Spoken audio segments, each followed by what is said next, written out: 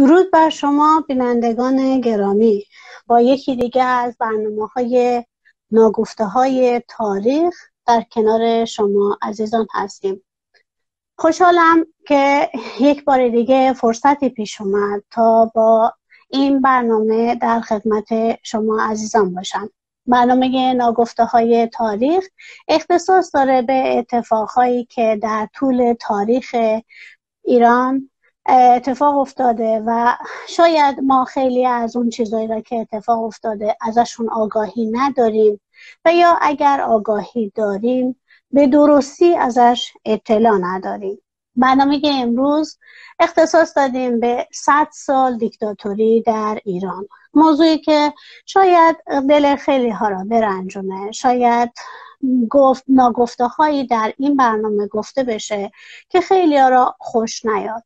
ولی چون هدف فقط بیان واقعیت و روشن کردن کسانی هستش که به تاریخ علاقه مندن و کسانی هستش که دلسوز کشورمون ایران هستن و می‌خوان که بدونن چه اتفاقهایی در این صد سال در این کشور افتاده که ما الان در این نقطه از تاریخ و در این زمان تو این شرایط قرار گرفتیم.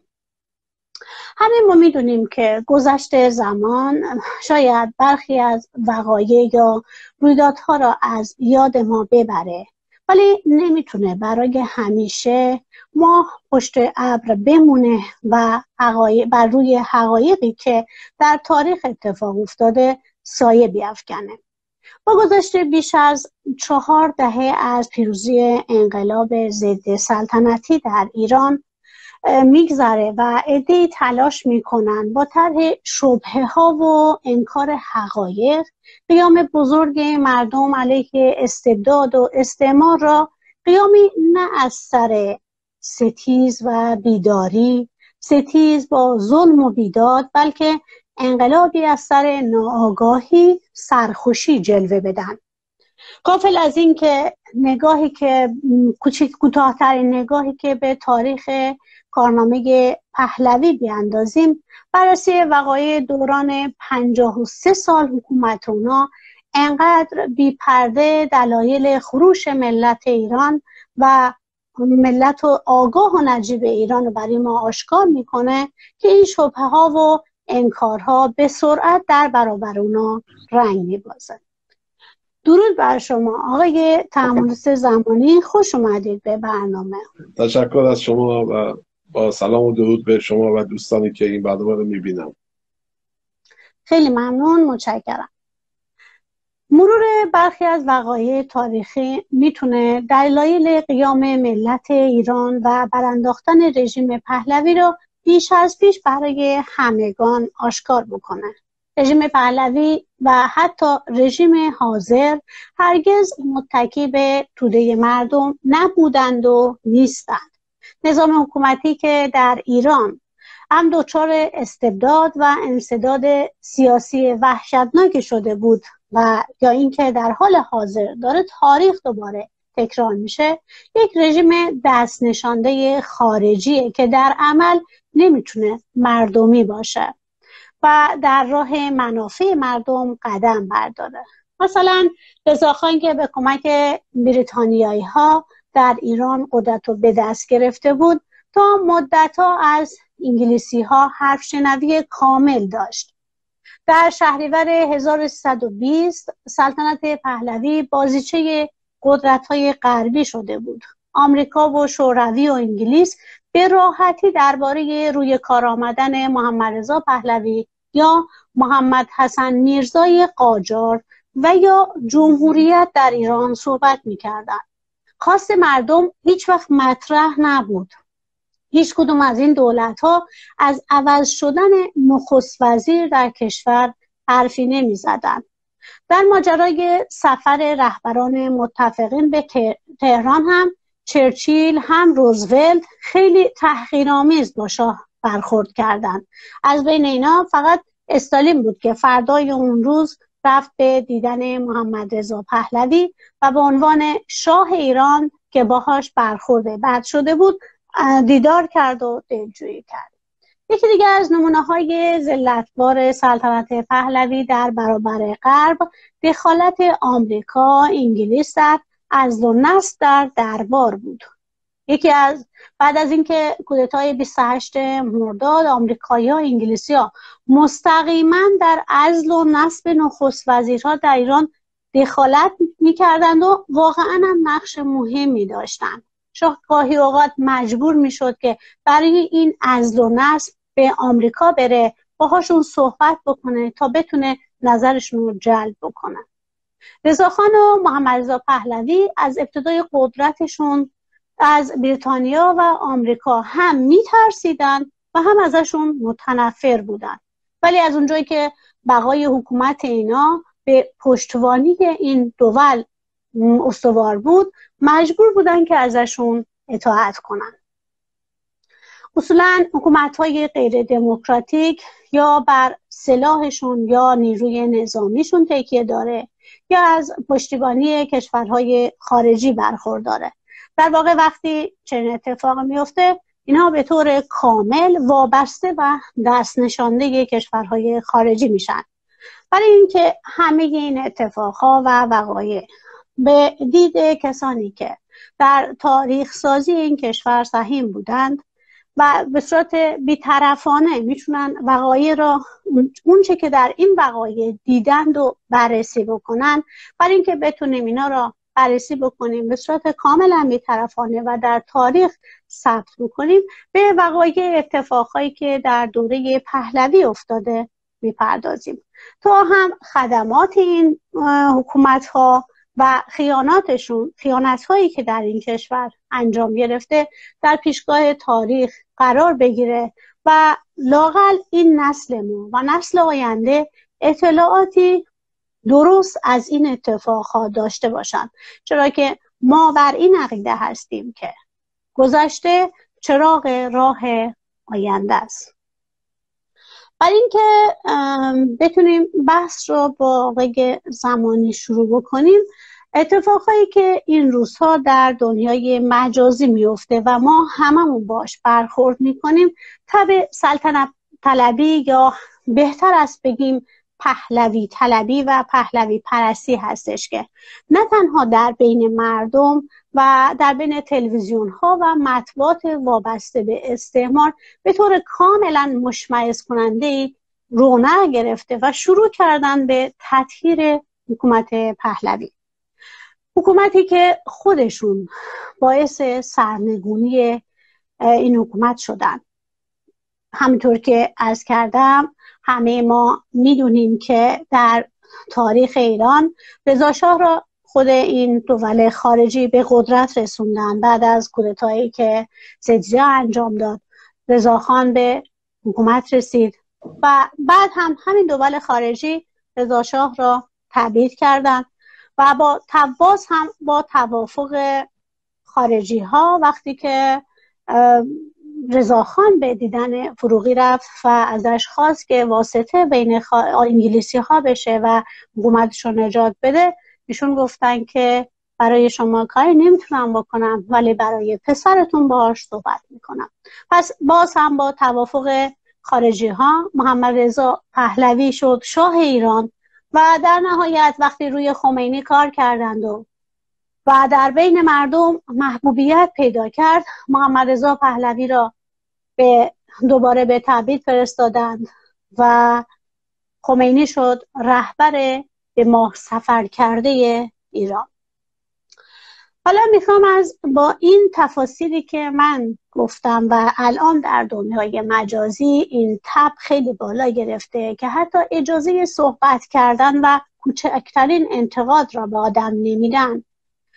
آقای زمانی هدف از این قیل قال و از این همه تعریف و تنجیدها توی دنیای مجازی چیه؟ چرا آقای رضا پهلوی را اینقدر برجسته کردن؟ اصلا چطور شد رضا پهلوی که تا همین چند سالی پیش هیچکس خبر نداشت که ایشون کجا زندگی می‌کنن چی کار می‌کنن؟ اصلا تو فعالیت های سیاسی هستن یا نیستن؟ یه دفعه اینقدر برجسته شده که طبق اون ویدئویی که همین چند روز پیش پخش شده اینکه شده خط قرمز یه سریا که اصلا نمیشه در موردش حرف زد. این چرا اصلا این اتفاق افتاد و اینکه واقعا عاقبت این شرایط به کجا می‌رسه؟ بفرمایید. ببینید خانم قراداقی این فعلا تبی که ایجاد شده در مورد خاندان پهلوی و می‌بینم من تلویزیون های مختلفی که اگر ما بریم جستجو کنیم ببینیم پشت این تلویزیون ها کیه چرا اینها یک دفعه دامن می‌زنن؟ دقیقا شرایط شرایطی شده که مثل سال 57 که یک دفعه این خمینی را بزرگش کردن یک دفعه همه قول معروف ابراباد و مرو خورشید در کار شدن که این شخص را به قدرت برسونن. این مسئله متاسفانه این مشکلیه که ما به علت داشتن منابعی که در کشورمون هست همیشه مورد توجه کشورهای خارجی بودیم و اینها خواهان این هستن که ابلهی را به حکومت بنشونن همونطور که در مورد حکومت پهلوی و حکومت همین آخوند شما می‌بینید از طریق اینها اموال را غارت کنن. شما الان ببینید اینها حتی قصد دارن شوروی را هم همین روسیه فعلی را هم تیکه تیکه کنن. چرا؟ چون منابع زیادی در این کشور هست. اینا الان در این همه خرج می‌کنن در دنیا. ببینید قیمت ها سرسام‌آور شده بنزین و همه مواد غذایی چیزای دیگه در اروپا. ولی این را تحمل می‌کنن به دلیل دارن سرمایه گذاری می‌کنن برای آیندهشون. حکومت پهلوی هم که یه دی دارن تبلیغش را می‌کنن و من روز دیدم مثلا افرادی که سالها طرف روزنامه نگار بوده آقای امیر تاهری داشت صحبت می‌کرد که بله 48 کشور در دنیا به روش پادشاهی اداره میشن. در صورتی که اصلا نداریم یه هم چیزی. ما 48 کشور نیست و 16 کشور. بعد مقایسه ای که اینها کشورهای اروپایی را با کشور پادشاهی ایران می‌کنن واقعا مسخره ترین چیزه. در کشور اروپایی پادشاهان زمیندارهای بزرگی بودن که سالها قدرت داشتن. مثلا در کشور دانمارک نزدیک هزار سال اون خانواده که الان در قدرت هست صاحب قدرت بود.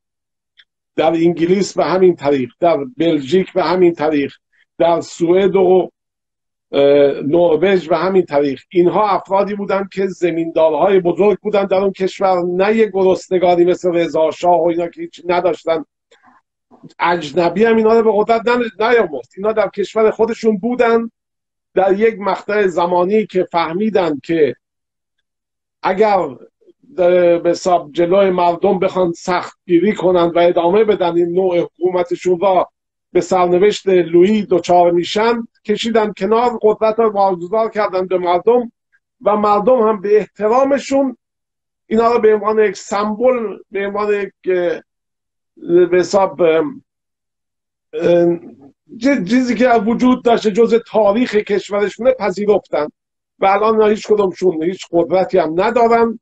نه اینکه شما اینو مقایسه کنید با یه آدمی که چاپیده مملکت آورد فرار دزدیده و فرار کرده.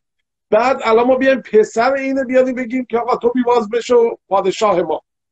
این یعنی ابلهانه ترین چیزیه که ممکنه اتفاق بیفته برای کشوری. حالا ممکنه یه خانواده برن همونجور که در تاریخ ایران بود نمی‌دونم غزنویان رفتن سلجوقیان آمدن یه خاندانی برن خاندان دیگه ای بیان. ولی همون خاندانی که اون همه جنایت کرده اون همه دوزی با اون افتضاح هر دوشون هم بابا هم پسر با اون افتضاح از مملکت بیرون رفتن. بعد ما بیایم بگیم آقا دوران اینها طلایی بوده. خب این اشخاص که همچین صحبت هایی می‌کنن اینا لایق این هستن که ولی فقیه هم بالا سرشون باشه چون اینا محجورن احتیاج به ولی دارن. کسی که میاد میگه آقا من علاقه من در یه نفر بیاد تا آخر عمر بر من حکومت کنه بعدش هم حالا پسرش بیاد بشینه در قدرت این شخص انسان متعارف و معمولی نمی‌تونه باشه. و اینکه چرا اینها دارن دامن می‌زنن؟ برای اینکه می‌دونن ملت ما حافظه تاریخی ندارن.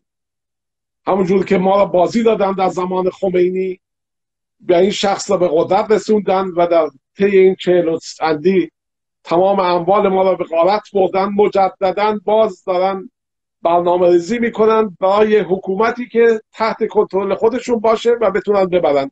اینها با حکومتی که برای مردم کار کنه اصلا کلا مخالفن چون ما را نمی‌بینن مردم ما را نمی‌بینن. ما را به این روز انداختن الان هم که رفتیم به کشور خود انگلیس پناهنده شدیم ما را میفرستن رواندا. ما را به اون جایی میفرستن چون برای اون ارزشی قائل نیستن.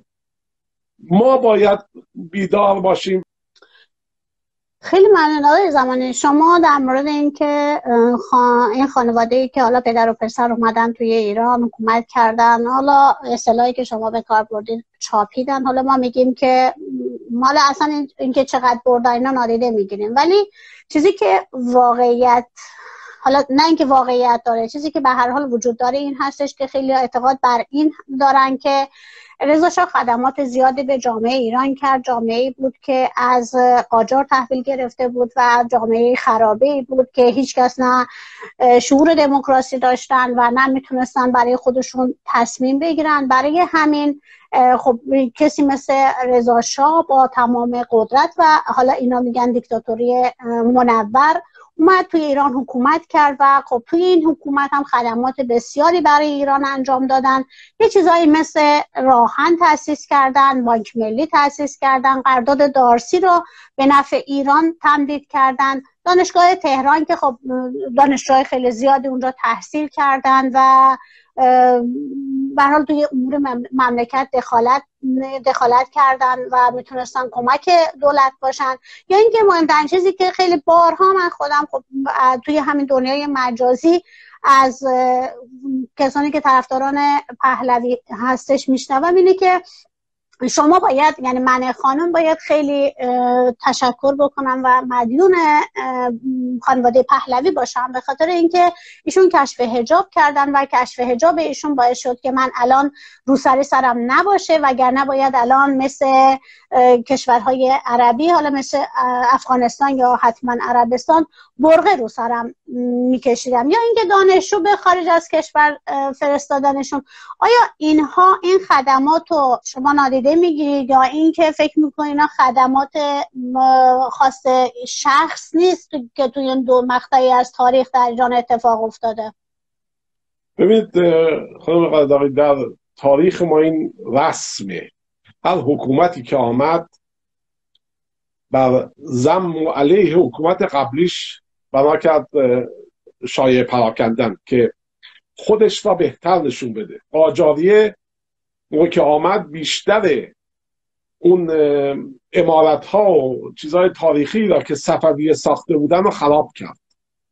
حالا در اصفهان جلوش گرفتن یه دی نذاشتن. ولی در شهرهای دیگه چیزهای امارت های خیلی قشنگی ساختمان های خیلی قشنگی از زمان صفویه بود که اینا رو همه را خرابش کردن. پهلوی هم زمانی که به قدرت رسید دوران قاجاریه را طوری نشون می‌دادن که یک مثل قلب وحشی یه حالت یه مش ملت پار و پورو نشسته بودن اونجا و اینها آمدن اینا رو نجات دادن. در صورتی که در اون مقطع دنیا همه همین بود.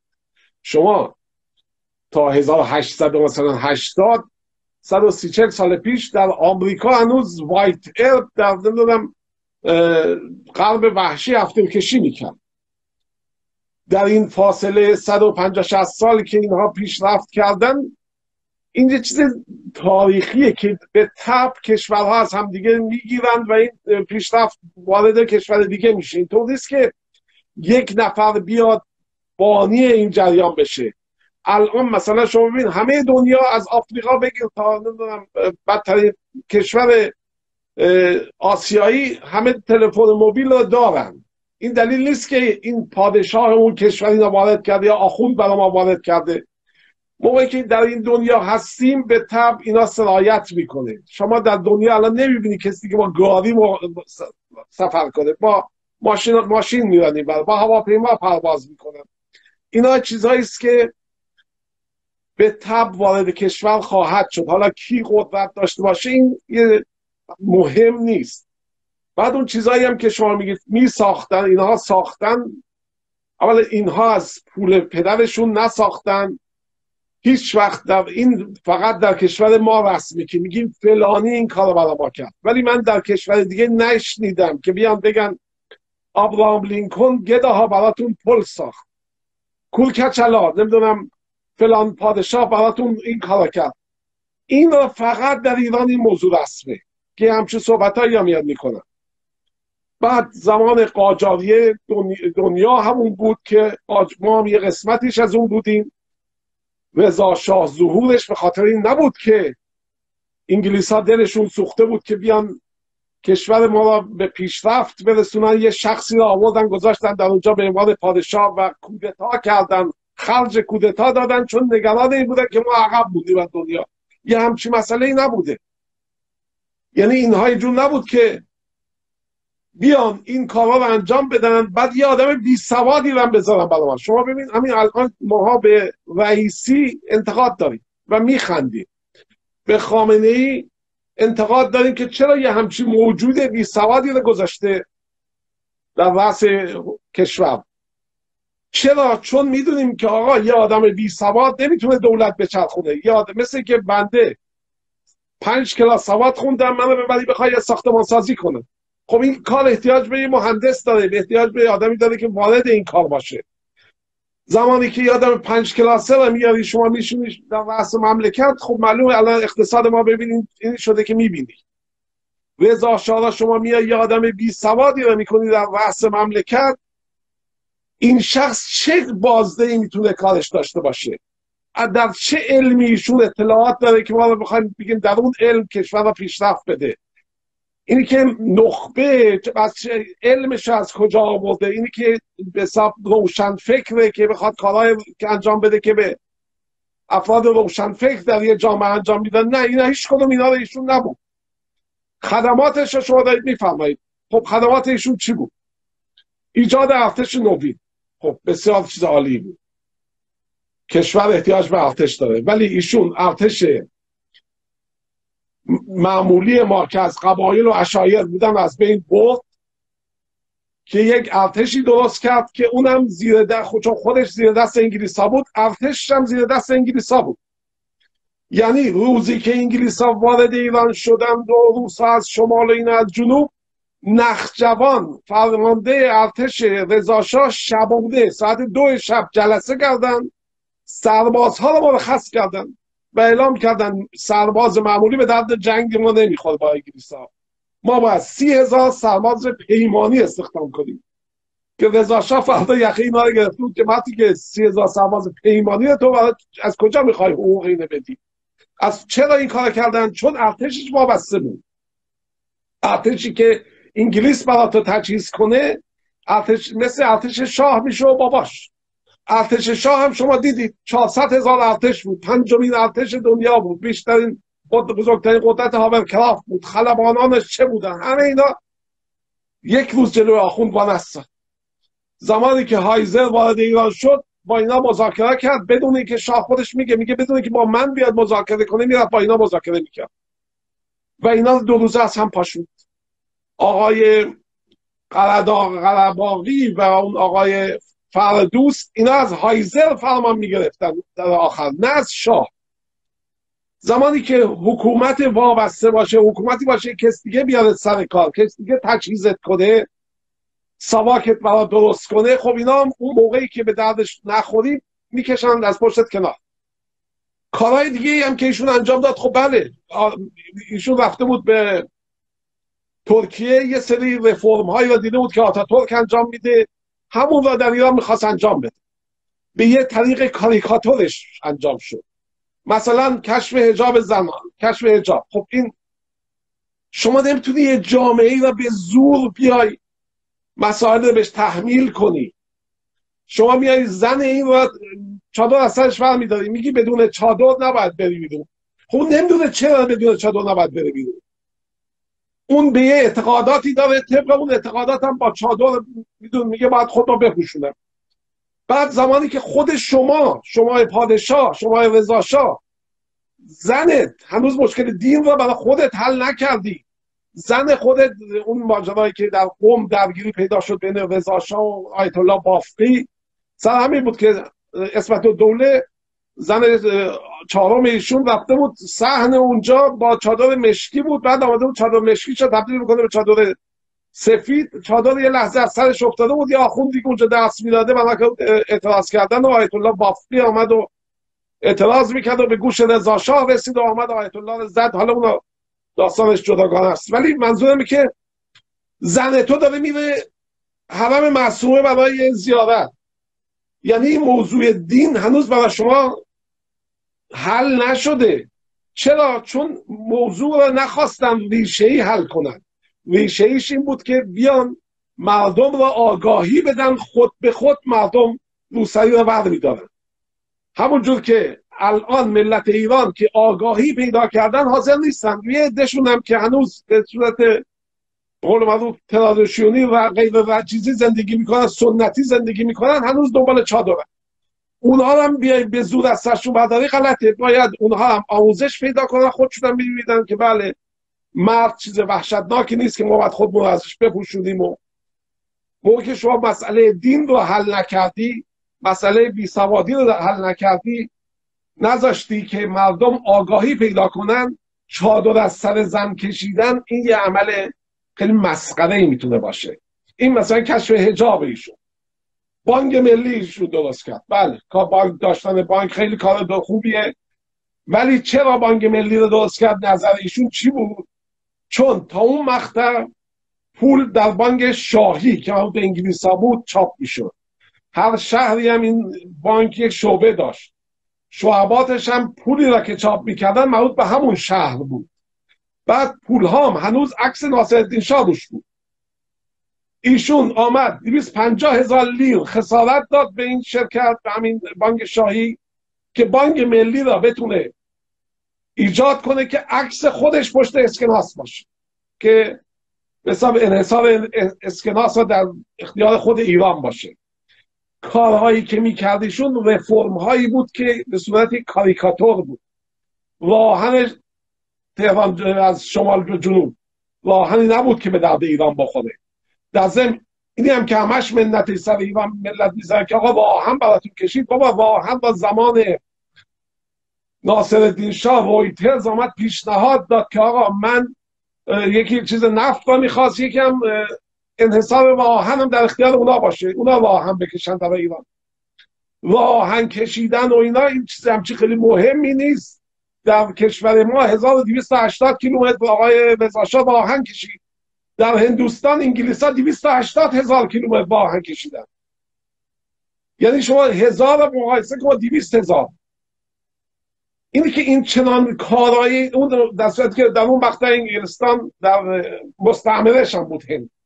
ما اینا رو یک نوع کارهای خیلی بزرگی می‌دونیم. در صورتی که نه. اینها کار مهمی نبود. کار مهم این بود که شما میذاشتی مملکت دارای پارلمانی باشه شما میذاشتی مملکت دارای مردمی باشن که از کتاب خوندن جرم نباشه تو اون مملکت.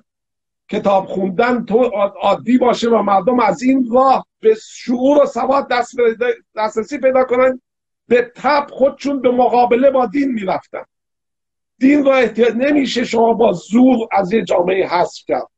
تنها راهش آگاهی. ایشون دنبال این برنامه ها نبود.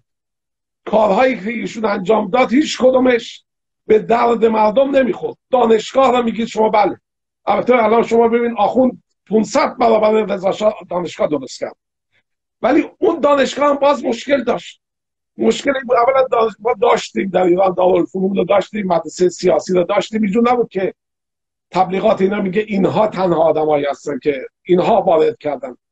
بعد خب شما منم میفرستادی برم آلمان. برم فرانسه برای تحصیل، تحصیل، تحصیلات. خب من می‌رفتم اونجا من دیگه می‌خواستم مهندسی بخونم شما که می‌خواستی تپ بخونی فقط نمی‌رفتیم کلاس. جامعه رو می‌دیدیم.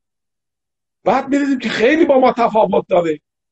بعد میگشتیم کشورمون می آمدیم صحبت میگم که آقا ما باید مثلا یه همچین جامعه داشته باشیم آزادی داشته باشیم. می آمدیم به روزنامه چاپ کنیم دستگیر کردن زندان می‌کرد با علم علم رو فقط در چارچوب بذارید که شما برید. مهندسیات بگیرید بدونی که این وقت نگاه کنید. برگردی بیا اینجا برای ما جاده بسازی یا راه بسازی. ولی چجور من سیستم اجتماعی چجوره؟ نه اون رو نباید شما دخالت کنید. اینی که کارهایشون همه در این ردیف بود. و میگم اینا با اصلا مقایسه ایشون با آتاتورک اصلا یه چیز بیخودیه. آتاتورک آدمی بود که هشت ماه با انگلیس ها جنگی 400 500 هزار نفر کشته شدن که تونست انگلیس از کشورش بیرون کنه. ایشون انگلیس نیامده فرار کرد. این شما با این آتاتورک و اینا نمیشه. مقایسه کرد. رفرماش هم رفرمایی نبود که شما اینقدر ملت رو مدیون اینا می‌دونن. ده برابر هزار برابر رفرم های اینها را کارهایی که اینا انجام دادن. پدر و پسر پهلوی آخوند انجام داده. پس ما باید خیلی متشکر از آخوند باشیم. زمانی که شاه از ایران رفت ما 140 کیلومتر چیز داشتیم اتوبان داشتیم. الان هزاران کیلومتر اتوبان داریم. شاه از ایران رفت ما چند دانشگاه بیشتر در ایران نداشتیم. الان همه دهات ها هم دانشگاه ها اینه که اینجور چیزها پیشرفت نیست. شما ببین سالها تو ایران استاندارد همه جای دنیا اینه که شهری بیش از دو میلیون جمعیت داره باید مترو داشته باشه. زمان ایشون چهار میلیون جمعیت تهران بود. یه مترو وجود نداشت. چرا؟ چون انقدر بازی بود که هر کیمیا فرانسوی آمدن گفتن ما مترو می‌کشیم. 25 سال می‌بریم پولشا ژاپنی هم همین پیشنهاد دادن ولی ایران قبول نمی‌کرد. چرا؟ چون یه لغمه چربی بود. این شازده میگم من می‌خوام امتیازش می‌گیرم؟ اون آقازاده میگم من می‌خوام. آخر گفتم اصلا هیچکی ملت در چه بدبختی زندگی می‌کرد. از میدون فوزیه تا میدون بیسترستان می‌خواستی بری پیاده با سواره با هم می‌رسیدن. اینقدر ترافیک بود. ولی هیچ کاری نمی‌کردن. ولی میگم آخوند الان صد برابرش کار کرده یه خط تلفن اون زمان تا صد هزار تومن پولش بود. اون زمانی که حقوق کارمند چهار هزار تومن بود. یعنی می‌خواستی تو نوبت وای نستی و جلوتر بگیری و ده سال می‌خواستی نوبت باشی. الان آخوند داریم برای شما همه جا تلفن برده. آخوند تمام کوره دهات ها رو برداشته جاده کشیده. زمان اونا یک دهات وجود نداشت شما برای من تو یک دهات اسمی برای که جاده اسفالت داشته باشه. یک دهاتی وجود نداشت که برق داشته باشه. که چه برسه به گاز که اصلا دیگه هم چیزایی وجود نداشت. اینجور خدمات را با پول کارگران انجام میدن شاهان انجام نمیدن این کارا. شاه بیل نمی‌زد. شما در امارات ببین چی ساخته. پول بدی برات شرکت دار شما الان پول بده دست من من ده تا شرکت بعد استخدام می‌کنم ایران را تبدیل کنم به بهشت. بنده هم نساختم. اون کار پولیه که از کشور از درآمد کشور داریم خرج کردیم. اینا اینجور می‌کنن که آقا شاه اینو درست کرد. شاه برات آقا شاه چی؟ یه آدم گدایی بود که روزی که به قدرت رسید یه خونه اجاره ای زندگی می‌کرد روزی که می‌رفت 2003 پاچه آبادی داشت. خب اینجور افراد کار مثبتی برای مردم نکردن. فقط چاپیدن و بردن. آخرش هم خود ایشون میفرمایند که پسرش فرمودن که بابای من 62 میلیون برده یا 60 میلیون هم چیزی. خب همون هم باز میگیم همون میگیم 60 میلیون. ایشون پول از کجا؟ شما حقوق رئیس جمهور آمریکا یا رئیس جمهور آلمان 50 هزار دلار در ماه. 50 هزار دلار در ماه. ببین سالش میشه. چقدر؟ که چقدر ایشون تونسته 60 میلیون جمع کنه ببر حالا به گفته ایشون البته میلیاردی بود. این خاندان جز نکبت و بدبختی برای مردم چی نیاوردن. آخرم دو دستی تحویل آخون دادن حکومت رو رفتن این بیمعرفت یک کلم نگرد نگفت نکرد این کارا که ببینه اوضاع خرابه یه رفراندوم ایجاد کنه. نظر ارتش اصلا بپاشه چرا؟ چون خودش دست خودش نبود. دست آمریکایی ها و انگلیسی بهش می‌گفتن چه بکن؟ بهش گفتن برو بیچاره گفت کجا برم دست خود اینا. شما ببین این آخرین روزی که می‌رفت شورای سلطنت را تعیین کرد. وقتی که تو خود می‌دونی بر نمیگردی. شورای سلطنت هم کیا گذاشته؟ سید جلال تهرانی تولیت مشهد. جلال آقای زمانی آقای زمانی اجازه بدین یه ظاهرا از صحبت های شما یک اشتباه برداشت شده این که شما فرمودید که ارتشی که دولت پهلوی به وجود آورده بود حتی نتونست یک روز در مقاومت بکنه. منظور شما مقاومت در برابر دول خارجی بود. متفقین که رضا شاه همون موقع بیرون کردن و پسرش رو به جاش گذاشتن. نه اینکه در برابر مردم مقاومت بکنه. چون اصلا قرار نبود که این ارتش در برابر مردمی که حق طلب هستن و ظاهرا توی کامنت ها من می‌بینم که اشتباه برداشت کردن از منظور شما مقاومت ارتش در برابر متفقین بود. منظور شما درسته؟ ببینید اصلا ارتشی که درست شده بود فقط برای مردم علیه مردم بود. جلوی متفقین اینا یه روز وای نستدن من اون ارتش از ارتش رضا شاه از میگم ارتش خود اینم که هیچ دو روز اصلا جلو آخوند اصلا پاشید. ارتش رضا شاه یک روز دوام نیاورد. تمام فرمانده هاش تابع انگلیس ها بودن. میگم دوام تمام سربازان مرخص کرد. این دیگه معروفه این بعد مسئله. نه می‌خواستم آی زمانی می‌خواستم فقط اینو روشن بکنم. چون من توی کامنت ها دیدم دوستان گفتن که ارتشی که درست کرده بود حکومت پهلوی قرار هم نبود که در جلوی مردم وایسه. منظور شما مردم نیست. منظور شما این بود که جلوی متفق درست اشتباه برداشت شد من مردم با نگفتم که جلو اصلا اون جلوی تنها شغلشی بود که جلوی مردم وایساد. تمام اش اولین نیروی هوایی ایران اولین کاری که کرد بمبارانی که انجام داد داخل ایران لورا را بمباران کرد.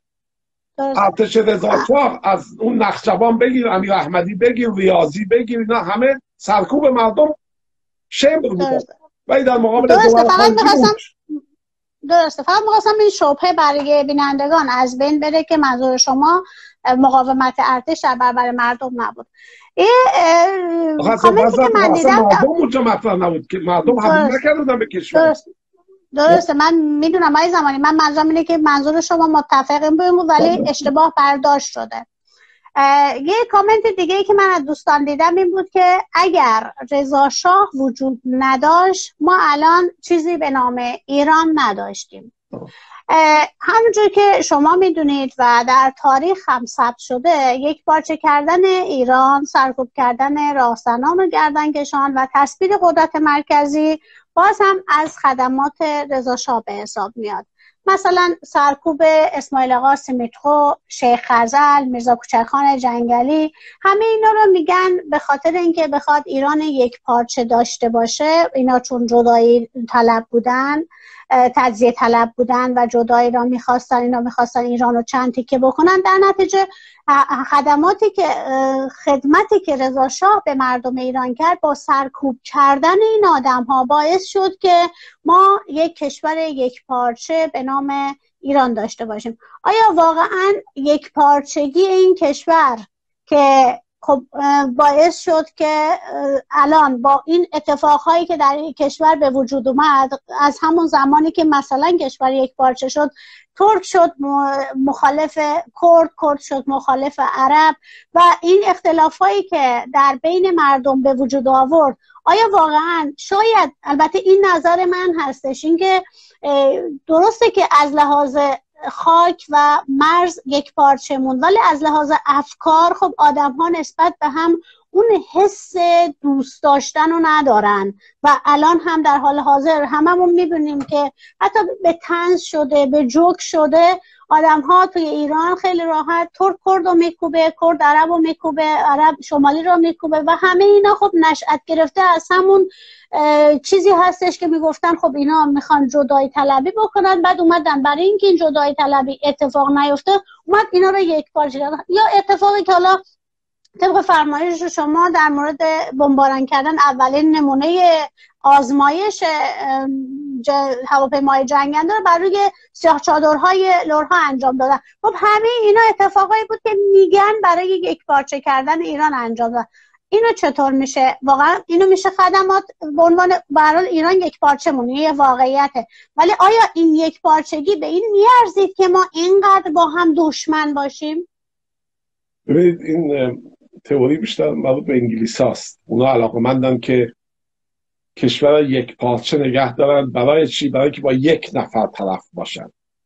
ببینید ما یه آقا محمد خان قاجار داریم در ایران که ایشون در کرمان هفتاد هزار جفت چشم در آورد ولی در گرجستان اون جنایت رو انجام داد که باعث شد گرجی ها از ایران جدا بشه. گرجستان برای همیشه از ایران جدا شد. که ایشون رفت تفلیس را با خاک یکسان کرد و هزاران آدم رو انداخت تو در آب و نمی‌دونم خفه کرد و هزاران اسیر گرفت. اون جنایتش باعث شد که اون قسمت هم جدا بشه از ایران. همون زمان سر جان ملکوم انگلیسی میگه که گرچه که آقا محمد خان جنایت های زیادی کرد ولی نمیشه گفت که به ضرب شمشیر اون بود که ایران یک پارچه موند. این یک پارچه موندن چه معنی داره؟ شما ببین زمانی که تا زمان قاجاری حکام در, در شهرها و مناطق مختلف تقریبا محلی بودن و آنچنان ظلم و جوری به اقوام ایرانی نمی‌رفت. زمانی که رضا شاه را به قدرت رسوندن انگلیس ها به خاطر این بود که آقای احمد شاه قرارداد دارسی را امضا نکرد یعنی تمدید نکرد. اینها قرارداد دارسی داشتن که می‌خواستن تمدید بشه. این قرارداد منابعی که اونجا بودن یه قسمتش در زمین های ها بود یه سریش در زمین های عربا بود. با هر کدوم اینا میبایست باید مذاکره بشن. اینا درصد به بختیاری ها میپرداختن. با شیخ خزعل مشکل رو پیدا کرده بودن. اینی که اینها علاقه من نبودن که یه کشوری باشه که با اقوام مختلف بخوان صحبت کنن یا یه مجلسی داشته باشه که با دویست نماینده مجلس برن بشینن بحث کنن بخوان یه امتیاز بگیرن. اینا علاقه من بودن که یک نفر قدرت داشته باشه. زمانی هم که احمد شاه آقا من امضا نمی کنم ناصر الملک یکی از مشاورش بود گفت آقا تو دیگه پادشاه نخواهی بود در این کشور. اینم گفت من کلم فروشی در پاریس در سوئیس ترجیح میدم به پادشاهی که بهم دیکته کنن باید چه کار بکنم؟ چرا؟ چون اینا می‌گفتن که ما یک نفر رو داشته باشیم با اون معامله کنیم. همین به خاطر همینم هم اینا کودتا کردن. وگرنه اینا معنی نداشت زمان کودتا کردن. که اولش هم که کودتا کردن سید سیا آمد. نخست وزیر شد. اینا برای پادشاهی مشکل نداشتن. دنبال نخست وزیری بودن. بعد دیدن آقا اصلا کل ماجرا رو میبندیم. ما دیگه مجلس و فلان اینا رو تعطیل می‌کنیم. بعد یه حکومت مرکزی قوی تشکیل بدیم که اون حکومت اولین کارش بود که اقوام سرکوب کرد. بعد وجه اون که شما میگید اسماعیل سیمیتخو مثلا اسماعیل سیمیتخو زمان شورشش یا چیز زمان جنگ جهانی اول بود و اونم مربوط به دوران احمد شاه بود. اون موقع رضا شاه سردار سپه بود. یه نیروی هزار نفری فرستاد اونجا برای سرکوب اسماعیل خان. اون نیرو اینا را زد تالمار کردن. نیرو اسماعیل خان زد این هزار نفر این 700 نفرش کشت. بعد رضا شاه از خالو قربان استفاده کرد علیه اسماعیل خان سیمیتخو به کلک و به چیزی که دعوتش کردن آخرش به شهر و کشتنش. اون کار نداریم ما. ولی منظور که این اقوام میرن که ایشون اسپردن نمی‌خواستن چون دولت انگلیس سیاستش این بود که مردم همه دور در یک مجموعه جمع باشن. و این یکی از چیزاست که هنوزم آخوندم مخالف همینه. آخوندم نمی‌خواد باز چرا این همه با فدرالی مشکل دارن؟ چون اگر کشور به صورت فدرالیسم به اداره بشه هر قومی خودش منطقه خودشه به چرخونه وحدت و چیز بیشتری در کشور ایجاد خواهد شد تا اینکه ما بیایم یه قدرت در اصل ماجرا باشه. خب اون غلطه. الان شما در اروپا رو ببین. ایوه خود اینا ایو تشکیل میدن. در این ایو کشورهای مختلف در امور داخلی خودشون خود مختار هستن. هر کاری که می‌خوان انجام بدن سیاست خارجی اروپا با یه جریانی است که ایو نامیده میشه. یعنی یکی از سیاست های شاه و خود آخوند همیشه اینه که اموال و تمام منابع زیرزمینی بیاد به تهران از زیر پای اهوازی نفتش خالی کنن برسنن به تهران. تهران شیخ یا شاه اونو تقسیم کنه اونجوری که دلش می‌خواد.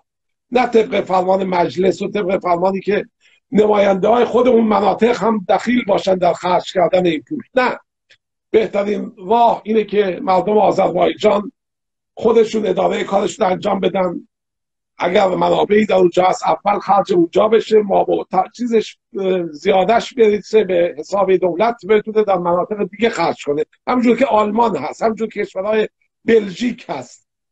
نه اینکه بیایم ما همه را تو سری کنیم همه رو سرکوب کنیم حرفم بزنه. الان هر کیتا میگه آقا من زندگی راحتی ندارم. آخه شما وجدانن شرافتا این زندگی که مردم بلوچستان دارن. این زندگی مردم کردستان دارن. پیرمردن 60 ساله بالای کودم ده چیز تو کمرش گرفتن این برابر میره. عرب زندگی داره. اینا را بدوزی بیای بدی به تهران تهران آسمو خراش و لباسان درست کنن و به ریشت هم بخندن. تا هم حرف می‌زنی بگن آقا این تجزیه طلبه. اینو باید کشت. آقا اگر مردم بعضشون خوب باشه هیچ دنبال تجزیه طلبی نیست. کدوم آدمی شما کدوم ایالت آلمان رو دیدی که بگه آقا من می‌خوام برم جداشم برم برای خودم. زمانی این حرف می‌زنن که در کشور راحت زندگی نکنن. ببینن که تمام پولا میره برلین در ایالت بایر هیچی نیست. مردم دارن گدایی می‌کنن. خب میاد میگه من نمی‌خوام چیزی به دست خودم لاقل من دلم خودم بیشتر برای خودم میسوزه. یه بلوچ در بلوچستان آنچنان به قول معروف خیانت و جنایت مرتکب نخواهد شد که دولت مرکزی مرتکب میشه اونجا. چرا؟ چون اقوام خود چند دلش میسوزه. ولی ما میگیم نه. این باشه قدرت دولت مرکزی باشه. دولت مرکزی هم به وسیله یک نفر اداره بشه. نه یک مجلسی نه دولتی که چهار پنج چهار ساله بار عوض بشه. یه آدمی که و همه اموال بده به اونجا. وگرنه شما تجزیه طلب با همین انگ مردم ها سالها سرکوب کردن. نه باشه مشکلی نیست. اگرم کسی بخواد تجزیه بشم اونم باز حقشه. یعنی روز ترک آمد گفت من می‌خوام خودم به چرخونم. اصلا می‌خوام کشور بشم حقشه. شما نمی‌تونی اینا به زور نگه دارید چه معنی داره اصلا که؟ ولی شما به کشور را به صورت درست اداره بشه هیچ کدوم. از این اقوام خواهان تجزیه نیستن. و اونم نگید که ما یه گروه کشوری هستیم خیلی به هم دیگه به حساب ارادت داریم و این حرف هم نیست. اصلا این صحبت هم نیست. زمانی که تو جنوب دارن تو سر خوزستانی می‌زنن من تهرانی زیاد چه این خیالم هم نیست. موقع که ترک و در قائله آذربایجان مثلا میکوبیدن ما تهرانی و من قومی نشسته بودیم چیز مشکلی چیزی نداشتیم. آنچنان پیوستگی هم بین اقوام ایران وجود نداره. این همش به خاطر اینه که یه دولت قوی مرکزی داشتیم همه رو تو سری می‌زده و همه رو به عنوان رعیت نگاه می‌کرده این درسته. آقای زمانی چیزی که حالا شما الان فرمودید در مورد ژن مقدس یا حالا اسپرم مقدس هر چی که هست خب الان در حال حاضر یه عده خیلی خب دارن همچین چیزی را تبلیغ می‌کنن هم که اول صحبتام عرض کردم اینه که خب رضا پهلوی که تا همون چند سال پیش هیچ خبری ازش نبود ولی خب یه دفعه این ژن مقدس پیدا شد و در حالی که خب ما توی کشورمون وقتی به حکومت های دنیا نگاه می‌کنیم این پادشاه حکومت پادشاهی یا ژن مقدس رو پشت سر گذاشتیم. ولی خب در حال حاضر که الان هم خب یه دوستداران آقای پهلوی هستن که توی کامنت ها همش دارن می نویسن اینکه تنها آلترناتیو هستش برای اینکه ما بتونیم با این رژیم جنایتکار آخوندی بتونیم مقابله کنیم. یعنی تنها چیزی که در حال حاضر جلوی این حکومت قرار دادن همین رضا پهلوی که چیز خاصی هم ندارن. در واقع ایشون نه مبارز بودن تا نه سیاست درس خوندن نه تحصیلات عالیه سیاسی دارن نه تحلیلگر هستن. چیز خاصی هم واقعا ندارن. تنها چیزی که در ایشون میشه فقط دید همون ژنی هستش که از من نمیشه گفت خاندان چون خاندان کسی هستش که چند پشت هم در یک حکومتی حکومت کرده باشن و اسمشون بذارن خاندان فلانه در حالی که پدر و پسر که هر دو هم از طریق کودتا اومده بودن بالا پشت ایشون هستن و تنها چیزی که می‌تونن امتیازی برای ایشون قرار میشه داد اینه که ژن پهلوی ها در بدنشون. در که البته اینم در نظر بگیریم که این همین آلترناتیوی که الان پهلوی طلب ها برای تنها گزینه برای مردم ایران گذاشتن همین ایشون بارها از سپاهی ها حمایت کرده گفته سپاهی که در فردای ایران ما از سپاهی استقبال خواهیم کرد یا اینکه جمله هست که ایشون همین فکر می‌کنم پارسال بهشون گفتن که آخوندی یک شغل هستش و در حکومت آینده ایران اینا باید بازنشسته بشن و حقوقشون رو بگیرن. یا در مورد یه جمله من از ایشون دیدم خیلی جالب بود این که اگر من در ایران میموندم و شاه می‌شدم دیگر حتی یک درصد از تجربه و دانش زندگی در یک جامعه آزاد و دموکراتیک را نداشتم. خب این جمله شاید به نظر بیاد که ایشون می‌خواد خودش رو ساپورت بکنه و بگه که من آدمی هستم که الان در یک جامعه آزاد دموکراتیک زندگی کردم و اینا رو یاد گرفتم و می‌خوام برای حکومت آینده ایران اینا رو استفاده کنم. ولی از یه طرف دیگه خب یعنی وقتی داره میگه من اگه در ایران میموندم و شاه می‌شدم یعنی در اون زمان هیچ نوع آزادی و دموکراسی در جامعه ایران وجود نداشت که حتی ایشون که بر پسر یک شاه بودن بتونن در اون جامعه به عنوان یک آدم دموکراتیک بار بیان. درسته؟ ولی چرا باید همچی شخصی را که چنین ادعاهایی را داره به عنوان تنها آلترناتیو. مگه ما این همه آدم در ایران نداریم که مبارزن؟ این همه آدمی که واقعا تمام سال سالها عمرشون جوونیشون رو برای مبارزه برای واقعا دفاع از اون ایدولوژی که دارن برای لاقل برای ایران. در همون خاک ایران دارن با آخون می جنگن. ایشون که چهل و چند سال از ایران دور هست که چهار پنج سالم هستش که اومده برد شده. چطور می‌تونه این آدم تنها آلترناتیو چطور واقعا صحنه را با وجود ایشون برای همه تنگ کردن که کسی هم نمی‌تونه ابراز وجود کنه با وجود ایشون؟ کسی جرأت نمی‌کنه بگه منم آلترناتیوم. ببینید خانم ما یه کشوری هستیم که به علت داشتن این منابع عظیم زیرزمینی مورد طمع کشورهای دیگه هستیم و اینا نمی‌ذارن که ما یه زندگی راحتی داشته باشیم. نمی‌ذارن این منابع را ما خرج خودمون کنیم. الان چند نسله که ما داریم می‌بینیم. حکومت رضاشاه را آوردن رو کار به علت اینکه قرارداد داسی را تمدید کنن. حکومت شاه را با کودتا برگردوندن برای اینکه بتونن قرارداد کنسرسیوم به حساب به امضا برسونن. که 25 سال می بردن و بردن و خوردن. آخوند را آوردن به همین طریق.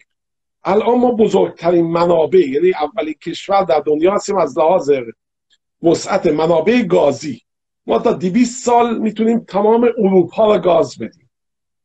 شما ببین این پول اگر خرج مردم می‌شد چه می‌شد؟ در آخرهای حکومت شاه روزانه 6 میلیون بشکه نفت فروش میرن بشکه چهل دلار. روزی 240 میلیون دلار درآمد ما بود. به ما 48 میلیون دلار شو می‌دادن. 20 درصد بقیه می‌رفت به اروپا و اینا کشوراشون میساختن. اینها سال هاست که دنبال حکومت های هستن که مردم را در آگاهی نگه دارن. از این دیکتاتور رو میزن تو بغل و یکی دیکتاتور. سال 57 هم همینجور شد. یعنی اینا می‌دونن که زمانی که جامعه به نقطه انفجار می‌رسه میگردن نمی‌خواد. اینا از مبارزه مسلحانه وحشت دارن. همیشه وحشتشون بوده که مردم دست به اسلحه ببرند و به طور ریشه‌ای با مبارزه با استبداد و مبارزه با این حکومت های دستشانده بپردازن. از این لحاظ قبل از اینکه به اون نقطه جوش و انفجار برسه یه حکومتی را برای ما پیاده می‌کنن. زمان شاه به اون نقطه انفجار رسیده بود. شما میگم بزرگترین تیتر روزنامه ای که در ایران زده شد روزی بود که شاه رفت نوشتن. میلیون ها آدم ریختن تو خیابونا. آقای نویسنده میلانی ورداشته میگه که عباس میلانی 89 درصد مردم تو خیابونا نبودن. یعنی که 11 درصد آمدن تو خیابونا. خب اینم میرسونه که اون شاه چقدر ابله بود که از 11 درصد بخاطر 11 درصد آدم دشمن متواری شد 89 درصد موافقش بودن. اینجوری اینا تاریخ را جل می‌کنن. در صورتی که نه. خیابون ها جمعیت بود. یعنی شما تظاهرات می از میدون نمی‌دونم فردوسی تا میدون آزادی جمعیت وایسیده بود. اصلا راه رفتن نبود. اینا خود شاه موقع که با هلیکوپتر بردن بالا دید بیچاره گفت آقا مثل کاری ازم بعد نمیاد در مقابل جمعیت انجام بدم؟ یه دمی گفتن چرا نکش؟ مگه می‌شد یه میلیون و دو میلیون نبود جمعیت که؟ این جمعیت عظیم داره کارش نمیشه کرد. اینا میان به اون نقطه که رسید فورا یک دفعه در ظرف خیلی پنج شیش ماه خمینی رو درست کردن برامون. خمینی آدم شناخته شده ای نبود. یه آخوندی بود که در نجف بود زمان چرا خداد 42 هم یه فتنه ای در تهران ایجاد کرد. چند نفر کفنپوش از ورامین آمده بودن چون این آخوند بود. به خاطر آخوندیش از حمایت کردن. اونا هم علم زد کش. 60 70 نفر آدم کش که به همه اینا مادام به خانوادهشون حقوق می‌داد و حسابی هم بهشون می‌رسید. خمینی برای مردم عادی برای مردم نم دهات بهات اینا هیچ کدوم چیزی نداشت. کسی آشنایی با این نداشت. همون زمانی که در قوم ایشون آمدن دستگیر کنن دی کشته شدن بیشتر دهاتی ها بودن که آمده بودن برای زیارت یه دفعه در این ماجرا واقع شدن. این و یک دفعه برای ما علمش کردن یه دفعه بردنش از عراق بیرونش کردن.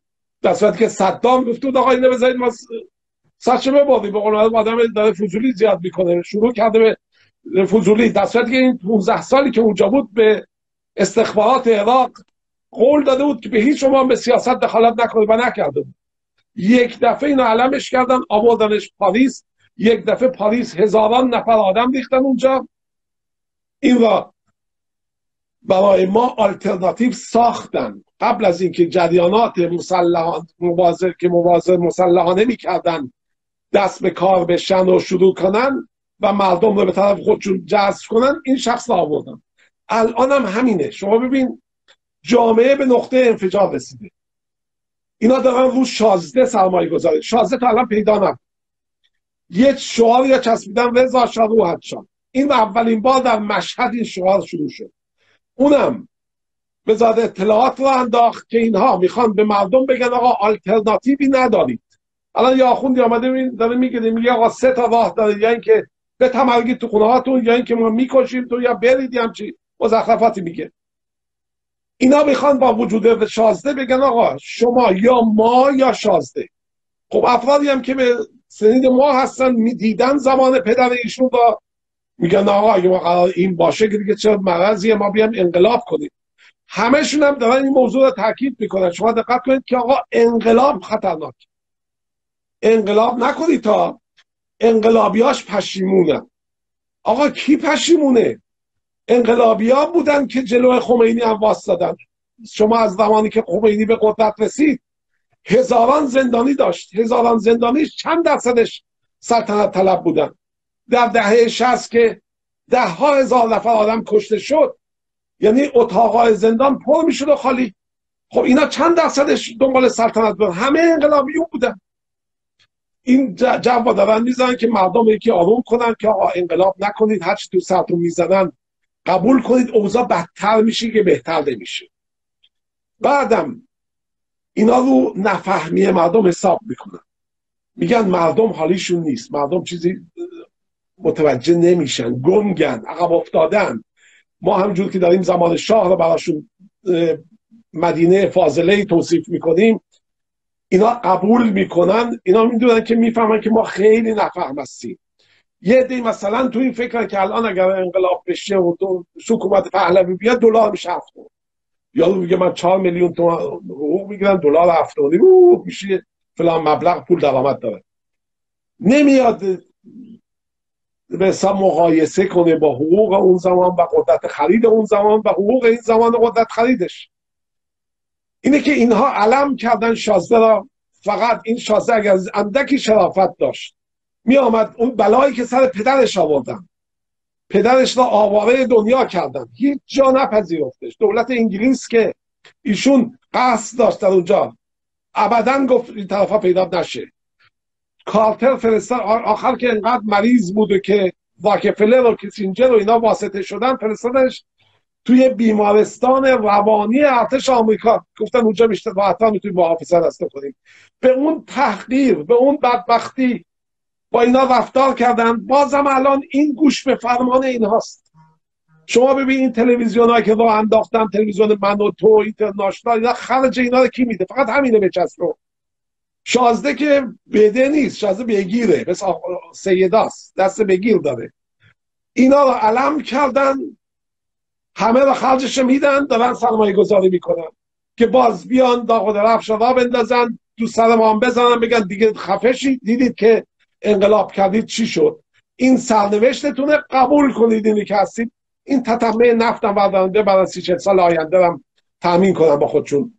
بعد میشه که خانم قرارداغی چل سال دیگه ما بشینیم بگیم که سید علی روحت شاد. لاقل زمان سید علی یه یارانه به ما می‌دادن. ما می‌گرفتیم میریختن به حسابمون. اصلا کار نمی‌کردیم. یه همچین توصیف هایی هم می‌کنیم برای نسل آینده. نسل آینده میگه عجب آدمی بودین سید علی.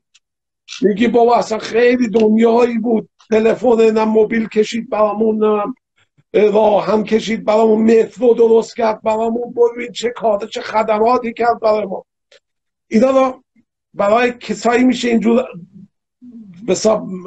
داستان ها ساخت که ابلهن.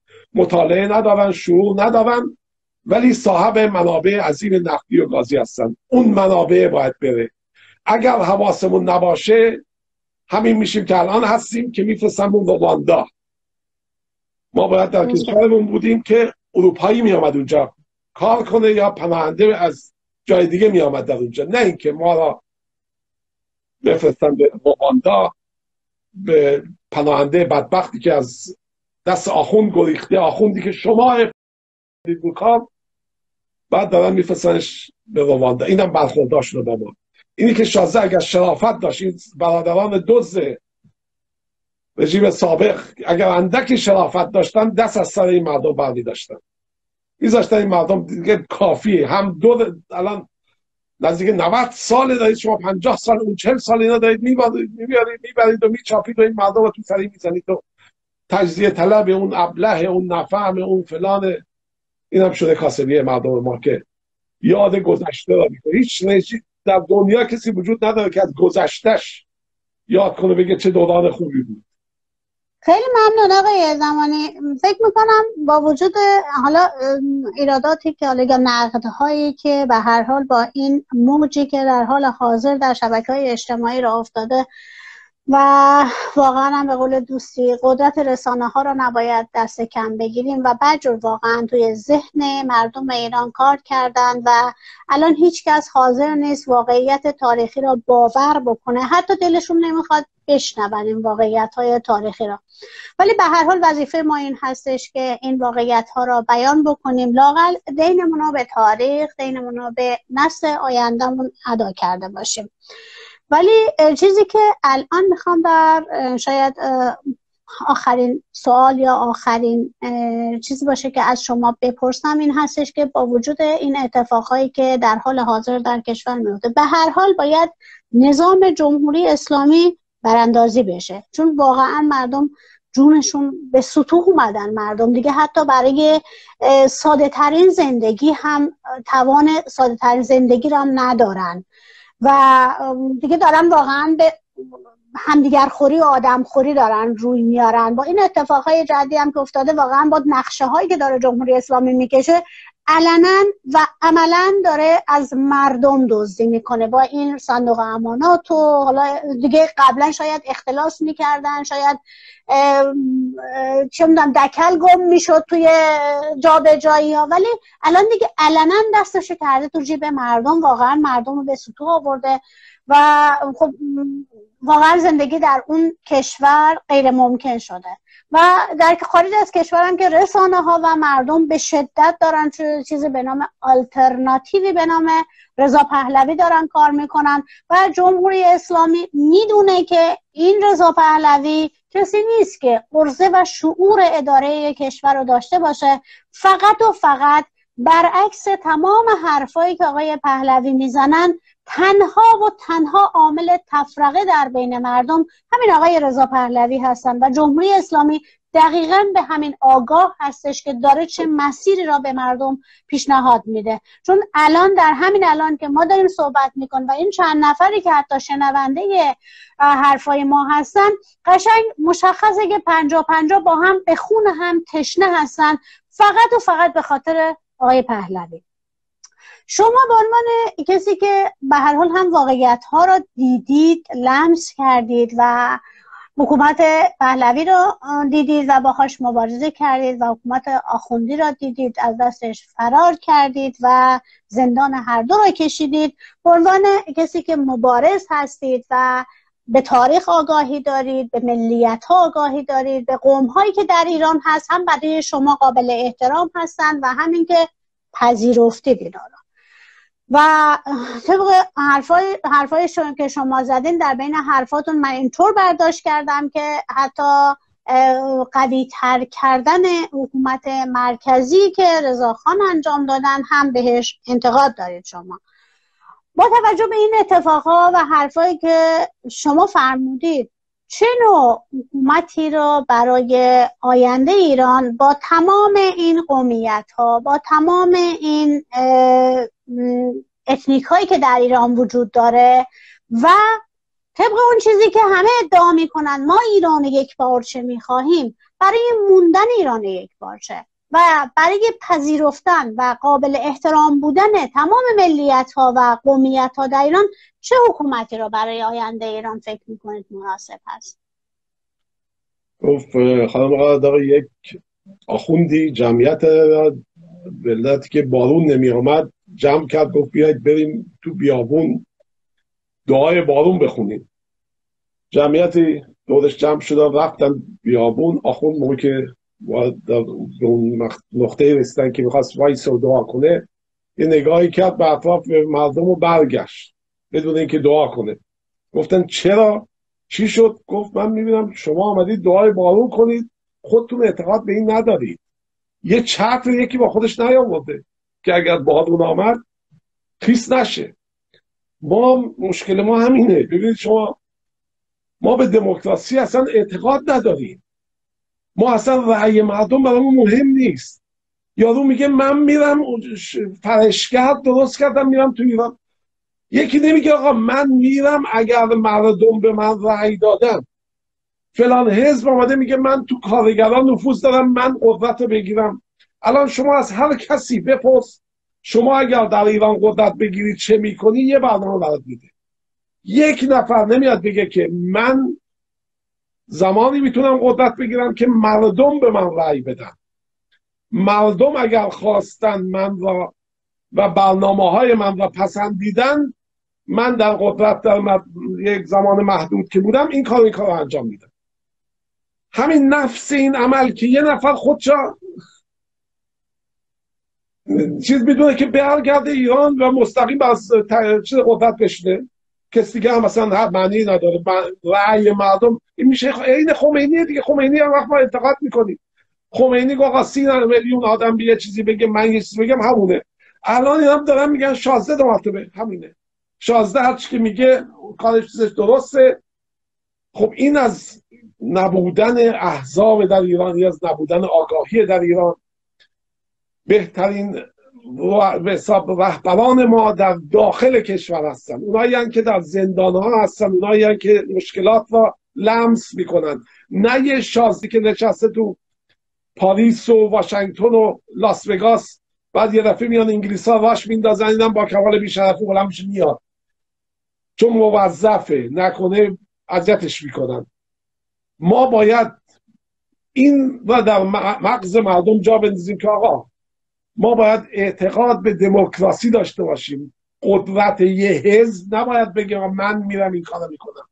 باید بگه به پشتوانه مردم من این کارو می‌کنم.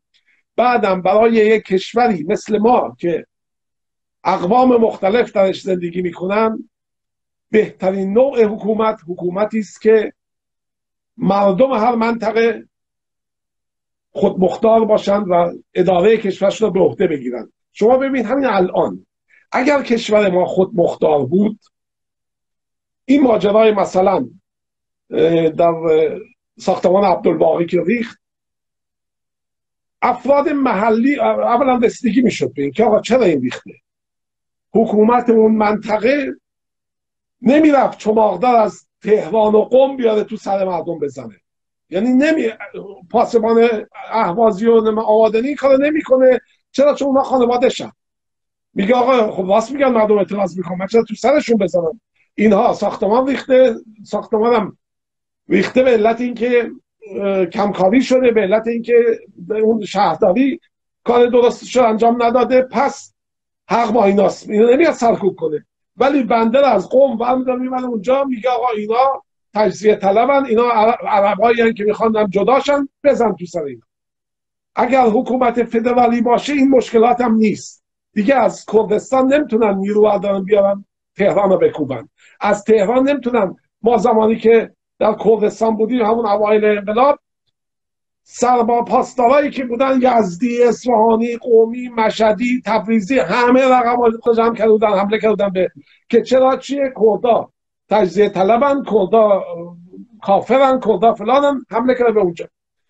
حکومت فدرالی باشه این فسادها کمتره درش. میگم باز ما کل کشور باید مردم آموزش دموکراسی پیدا کنن بفهمن چیه تحمل مخالف را داشته باشن. نه اینکه این مدلی که الان میگم مخالف هر چی که خاص حرفی بزنه ما تو سرش می‌زنیم. یا دو دسته شازده روز هیچ نشده میگه شازده خط قرمز ماست ما می‌زنیم میبندیم فلان می‌کنیم. خب این یعنی این به کجا می‌رسیم ما با اینجور افراد؟ بعد با افرادی که سابقه آنچنانی داشتن شازده رئیس دفترش آقای کلاکوب آنبود یه جنایتکار. ایشون فقط در قائل مشکل آذربایجان سه هزار نفر کشت. یه دسته ایشون در اونجا کشتن. همزمان ایشون به حزب توده هم پول میدن ولی خب همین افکار و همین مردم با بیاری با یه شازده ای برشونی در تهران بر سر قدرت خب این همون کاری می‌کنه که آخوند داره با کردستان انجام میده آخوند با ترکمنستان انجام داد. اینه که ما باید این و داشته باشیم که ما به هیچ عنوان حاکم تعیین شده نمی‌خوایم. حاکم باید از بین مردم انتخاب بشه و به وسیله مردم انتخاب بشه. یکی رو از جای دیگه بیارید نه. و حکام در تهران هستن. حاکمینی که قرار قدرت بگیرن در خود تهران ما آدم داریم که بتونن قدرت بگیرن. بعدم میگم با رأی مردم. یعنی اینها ممکن در یه مقطع خیلی کوتاهی اداره کشور دسته گروهی باشه که اون گروه نوشتن قانون اساسی را شروع کنن انتخابات را شروع کنن مسئله را بیفته. نه اینکه مثل خمینی و اینا بیان بگن آقا جمهوری اسلامی عالی یا نه. شازده بیاد بگه حکومت پادشاهی عالی یا نه. اونم برای اینکه یه بگن ما هم انتخابات داریم. نه اینجور چیزا نه ما این روش هم بخواد پیش بره کارمون میگم. چل سال دیگه دو مرتبه با یاد سیدلی کنیم. بعد بیاد باقر پسر آقا مشتبا رو بیان برش گردونیم به چیز به حجت الاسلام باقر رو برگردونیم مجددا به قدرت. این تاعت ادامه پیدا می‌کنه. انگلیس هم که دارن اروپایی هم می‌برن و براشون این خیالشون نیست. حکومت که از بیرون باشه سمه ببرگاه همونجور که این دو نسل ما دیدیم پهلوی ها رو دیدیم آخوندم دیدیم. از بیرون آوردن قدرت دیگه حکومت رو به قدرت برسونه. این در تاریخ ما سابقه نداشته. این از زمان پهلوی ها شروع شد که حکومت دیگه حاکم برای ما تعیین کرد. ما تا اون زمان می‌زدیم تو سر هم دیگه و یکی بالاخره حاکم می‌شد قدرت پیدا می‌کرد. اینجور نبود که روسیه انگلیس فرانسه برای ما یه نفر بیارن بذارن اونجا. این خطرناکه. این رو نباید ما به هیچ عنوان زیرش بریم. شازدم این زندگی راحتش رو ترک نکنه بیاد اونجا با درد فقط درد سر منتظر شه اینجور نیست که به این راحتی هم باشه و مردم قبول کنن و اینا هم بساط داغ و درفش با دو پهن کنن و جا پای آخونده بذارن. نه. آیا زمانی یعنی با وجود این اگر قرار باشه این حکومت براندازی بشه و حالا اصلا حکومت نیرو و قدرت سلطنت طلبا بر بقیه بچربه و شاهزاده رضا پهلوی را بر سر قدرت بنشونن. یعنی در واقع ما فقط انتقال قدرت از سید علی به پهلوی داریم. اتفاق خاصی این وسط نمیافته. حتی اگر بگیم سکولاره حتی اگر بگیم ایشون جمهوریه چون الان ما به هر حال اسمن جمهوری هستیم. هیچ فرقی نخواهد وقتی ما حکومت مرکزی داشته باشیم قدرت باعث میشه که یک نفر تصمیم بگیره یا اون شازده رضا پهلوی باشه یا خامنه ای دست نشانده رفسنجانی باشه. فرقی برای ما در واقع نخواهد یعنی این همه خون دادن و این همه چهل سال مبارزه کردن چهل سال که چه ارز کنم از سال سی و دو داریم این کارو می‌کنیم. یعنی در واقع همش آب در هاون کوبیدن میشه با این ولی اگر قرار باشه آقای رضا پهلوی واضح روشن بیان با مردم صادق باشن. اون تاجی را که خودخواسته سرش گذاشته یه روزی بذاره کنار. بگه من دیگه شاهزاده رضا پهلوی نیستم. من رضا پهلوی هستم. حتی اگه یه ذره شرف داشته باشه فکر می‌کنم باید رضا میر پنج باشن ایشون من دیگه هیچ ربطی به پدرم هیچ ربطی به پدر بزرگم ندارم. از این به بعد می‌خوام مثل آقای دمروز زمانی مثل علی محمدی مثل حسین باقری قرار با هم دیگه یک کشور آزاد با حکومت فدرالی که قدرت مرکزی نداشته باشه مبارزه کنیم از دست آخون بیاریم بیرون و هر کس بر سرنوشت خودش حاکم باشه. این تنها راهی هستش که میشه این کشور رو از دست آخون نجاتش کرد. داد در غیر این صورت فقط ما قدرت رو یعنی با این همه زور زدنمون با این همه مبارزه کردنمون با این همه خون ریختنامون با این همه زندان کشیدنامون فقط قدرت رو از سیدلی می‌گیریم میدیم به پهلوی. هیچ کار خاصی این وسط صورت نمی‌گیره چون قدرت دست یه نفر هست. اگر حتی قرار باشه حتی رضا پهلوی بیاد بگه که من قدرت رو نمی‌خوام فقط می‌خوام ایران آزاد بکنم ولی طرفدارانش اینو نمی‌خوان. ایشون خودش هم اینو نمی‌خواد. چون هیچ وقت حالا نیومده بگه که من درسته که تو تنهایی خودم همون زمانی که قرار بود مثل تمام شاهان مخلوع فراری قرار بود پدرمو دار بزنن نزدن. همین ازشون خیلی ممنونم این کارو نکردم ولی من دیگه شاه نیستم این قبار به تن من نیست. من فقط می‌خوام یک ایرانی باشم و الانم اگه دارم مبارزه می‌کنم برای آزادی ایران هستش برای رفاه و آزادی آینده ایران هستش که می‌خوام این کارو بکنم. ولی ایشون تا حالا هیچ وقت نه واضح صحبت کردن نه واضح موضعشون رو مشخص کردن. برعکس زمانی که تازه این تب سلطنت طلبی زیاد شد ایشون قبلا توی یه گروهی بودن به عنوان اپوزیسیون بودن نمی‌دونم جبهه بودن. وقتی این اتفاقا افتاد ایشون اومدن رو بورس از اون هم استعفا دادن. به خاطر اینکه ایشون طبق اون قوانینی که در دنیا وجود داره شاه نباید عضو هیچ حزبی باشه. یعنی ایشون عملا و عقلا و عرفن و شرعا خودشون شاه بودن خودشون رو پذیرفتن. ببینید و بفهم. مطلبی که اولا هر چیزی در کشورهای ماها که میاد تبدیل به جوک میشه. مثلا جمهوریت. در همه جای دنیا شما می‌بینید کشورهایی که به روش جمهوری اداره میشن و چهار سال یه بار انتخابات پنج سال یه بار انتخاباته و شخص جدیدی میاد ولی در ایران که میاد یا در سوریه میاد یا در عراق میاد از پدر به پسر می‌رسه. و این که شما میگید شازده شازده برای که وقیه شما ببین دسته ظاهر شاه در افغانستان این از حکومت برکنار شد. فرار کرد رفت به ایتالیا. آنچنان دوزی هم نکرده بود انقدر بیچاره بود که شاه بهش کمک می‌کرد. این را دیگه پسراش بلند نشدن بیان بگن آقا ما می‌خوایم باز شاه بشیم تو افغانستان. گفتن آقا این چیز بسته شد این بخش از زندگی مردم افغانستان تمام شد که پادشاهی بود در کشور ولی نه.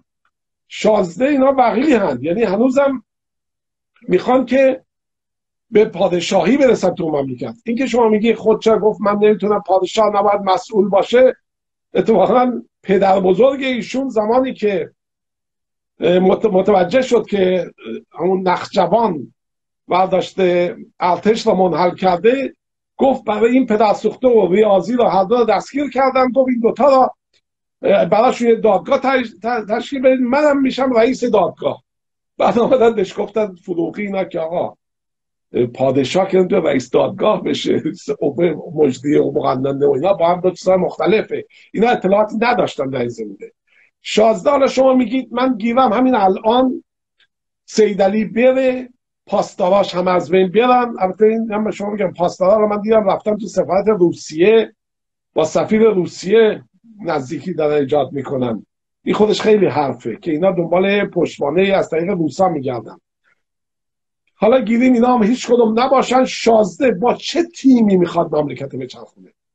بعد اون تیمی که شازده برداشته برده الان می‌بینم یه گروهش مال فرشگرد همه اصلاح طلبان بعد ایشون با اون اصلاح طلبا یا با اون عرازل اوباشی که از زمان پدرش موندن یا فرزندان اونهاست میره تو کشور اونها چه پشتوانه مردمی دارن؟ آخه یک وزیر را دولت باید انتخاب کنه. اون دولت را باید مجلس انتخاب کنه مردم انتخاب کنن. نه اینکه از واشنگتن یه گروه برن اونجا مملکت بخوام بچرخونه بعد همه چی هم مثل حکومت پدر و پدر بزرگش جوک. مجلس جوک. شما ببین بهره را دادم رفت. 199 نماینده یک نفر فقط تو صحبت کرد علیه این موضوع. اونم گفتن برنامه ریزی شده بوده. یعنی 199 تا گوساله نشسته بودن هیچ نظری هم نداشتن. یه قسمت از مملکت داره جدا میشه. هیچ نظری نداشتن. چرا چون مجلس تبدیل شد به طویله؟ اینا اولین کاری که می‌کنن اینجوری نهادهای دموکراتیک رو تبدیل می‌کنن به هیچ. بعد خودشون رسم میشینن. تبدیل میشن به دیکتاتور. خمینی هم اولش دیکتاتور نبود. شاه هم اولش دیکتاتور نبود. شاه موقع برگشت از کودتا شد دیکتاتور. خمینی زمانی که جاپاش سفت شد شد دیکتاتور. وگرنه اون اول بهش گفتن آقا چه احتیاج به انتخابات هست؟ گفت نه انتخابات باشه که به حساب رویه کار درست باشه که بگن اینا انتخابات هم دارن. اینا به هیچی معتقد نیستن. اینا یک عمله ظلمن که فقط به نمایندگی از کشورهای خارجی می‌خوان بیان کشور بچاپن. و میگم ملت هم که اطراف اینا بسیار بیشرفن. یک کدوم اینا نمیاد بگه آقا دلش برا مردم بسوزه. یعنی واقعا آدم ناراحت میشه زندگی بلوچ ها رو می‌بینه زندگی نمی‌دونم خوزستانی رو می‌بینه. ولی اینا بس آخوندا بخور و ببر و برا خودت حال بکن گور پدر مردم. والا آدم ده ساعت بیشتر گریه می‌کنه. منوزدم یا کردی پا نداره داره کولبری می‌کنه. آدم ناراحت زندگی چه زندگیه؟ یه مقطعی تو این دنیا هستیم ما. اینجا به دنیا میام اینجا میمیریم. اینم تو این نکبت خونه ای که اینا برا ما ساختن. باید زندگی کنیم. و اونم آخر با شازده تو سر هم بزنه می عمر ما گذشت با تو سری زدن با شاه و آخوند و حالا دیگه مجدد بشین. با شازده گلاویز بشه چرا؟ چون میگه آقا این اموالی که می‌خورید اروپایی ها میخوایی یه مقدارش بذارید مثل امارات مثل عربستان خرج مردم کنید. کل نبرید. این مردم هم به حساب یه مقدار در نظر بگید ولی نه. که اینم افتاده و یه دم از حالا فکر کنن واقعا بر مسند قدرت نشستن. نه این حرفا نیست. به این سادگی هم نیستش. می‌خوان اروپایی نام می‌خوان دارن جلوی انقلاب را بگیرن. انقلاب را طوری کردن که حالتی شده که انگار شما بزرگترین خطا می‌کنید مبارزه مسلحانه از روزی که آخوند آمد روی کار به عنوان یه چیز منفی مطرح کرد. که آقا اینا یه مش دیوانه بودن که مبارزه می‌کردن اینا آدمای نمی اومد به چون می‌دونست که مردم در آینده روبروش اسلحه برمیدارن. البته آقای زمانی البته آقای زمانی ببخشید وسط براتون. فکر می‌کنم مبارزه مسلحانه از زمانی که اشایر رو خلاص اله کردن تو ایران. مد شد اینکه یعنی در واقع اینم از خدمات رضا هستن بله. که ایشون با خل سلاح کردن قومیت ها باعث شد که مبارزه مسلحانه به عنوان چیز غیر معمول توی جامعه بمونه در حالی که در تمام دنیا همچه چیزی وجود داره. هر کس برای دفاع از خودش دفاع از حقوقی که داره. سلاحش رو داره و مبارزه می‌کنه. ولی اینا با خونه به خونه گشتن و گرفتن تمام اون ابزاری را که آدم ها می‌تونستن از خودشون دفاع کنن چه اون اشایر باشه چه کسای دیگه ای که بعد از انقلاب اتفاق افتاد باعث شد که این به عنوان یه جرم حساب بشه. یعنی شما حتی اینکه بخوای از حق دفاع بکنه حالا اون فرق نمی‌کنه اشایر باشی یا الان در جامعه ایران باشی اگه می‌خواید از حق دفاع کنه ابزار دفاع را نداری ابزار متقابل رو نداری. که تا همین تا همین چند وقت پیشم که آقای پهلوی به عنوان مبارزه مدنی را مد کرده بودن که شما باید مبارزه مدنی داشته باشین ولی طبق اون چیزی را که ایشون چهل اندی سال خارج از کشور هستن و این فکر می‌کنم اهل ناقص ایشون به این نمی‌رسید که با توپ و تفنگ نمیشه با مشت بهش جواب داد. وقتی در سال 88 98 و تمام این سالهایی که تکرار شده وقتی ما مشت بالا می بردیم همون بالا با تیر می زدند و صدای کسی در نمیمد وقتی نداها تو کف خیابون تو خونشون قلتیدن هنوز شازه به مبارزه مدنی معتقد بود. در حالی که اگر جامعه ایجاد می‌شد. همون سال 20 سال پیش 22 سال پیش اگر در قبال این همه توپ و تفنگی که به روی مردم باز می‌شد در خیابون های تهران اگه قرار بود مردم هم متقابل جوابشون رو بدن طبیعتا دیگه مردمی را که توی روستاهای آبادان توی جایی که سیل اومده بود مردم میان حقشون رو می‌خوان. وقتی خونهشون با سیل برده میان حقشون روی اونا هم تفنگ می‌کشید. به خاطر اینکه تجربه نشون داده بود که مردم هیچ چیزی برای دفاع کردن ندارن. در حالی که باز هم هنوز ایشون نشستن توی آمریکا حرف از مبارزه مدنی می‌زنن. مبارزه مدنی برای کسی هستش که از مدنیت چیزی خالیش باشه. جمهوری اسلامی یا جمهوری های یا حکومت های دیکتاتوری چیزی از مدنیت مگر حکومت خود پهلوی را مبارزه مدنی مگه ساقط کرد که الان که آخون تازه خیلی زورمندتر و قویتر از پهلوی هم هست بشه با این به صورت مبارزه مدنی مبارزه کرد.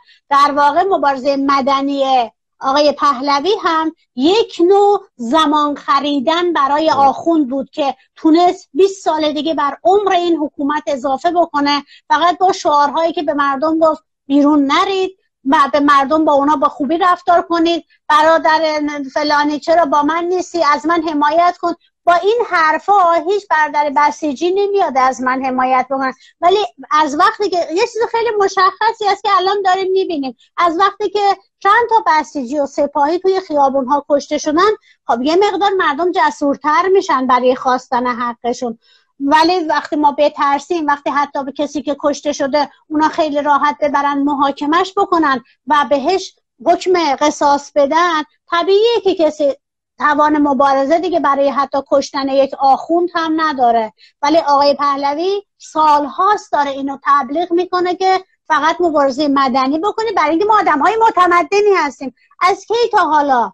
از کی تا حالا مدارا کردن با ظلم و استبداد جز مدنیت شده. از که حالا کنار اومدن با ظلم و تو سریخوری جز تمدن و شعور شده ما نمی‌دونیم اینو واقعا. ببینید اوایل انقلاب موقعی که انقلاب شد مردم حمله کردن به پادگان ها اسلحه ها رو در آوردن. اینا در کردستان که مردم ریختن تو پادگان ها اینا سریعا مخالف این بودن که کرد مسلح نشه. بلوچ مسلح نشه. اینا از اینکه اسلحه دست مردم باشه وحشت دارن. چون می‌دونن که مردم که مسلح باشن نمیشه بهشون زور گفت. زمانی که شاه و رضا شاه اقوام و قشقایا سالها می جنگیدن شاه باشون. تا اینا رو خل سلاح کرد. خل سلاح نمی کردن اینا رو نمی‌تونستم به اینا زور بگم.